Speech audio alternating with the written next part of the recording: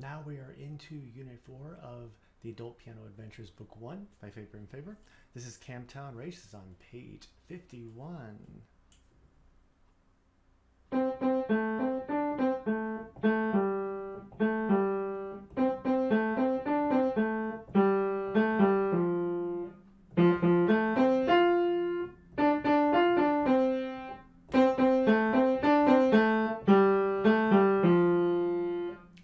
Course, you don't have to go that fast when you're first starting. I always suggest take it slow.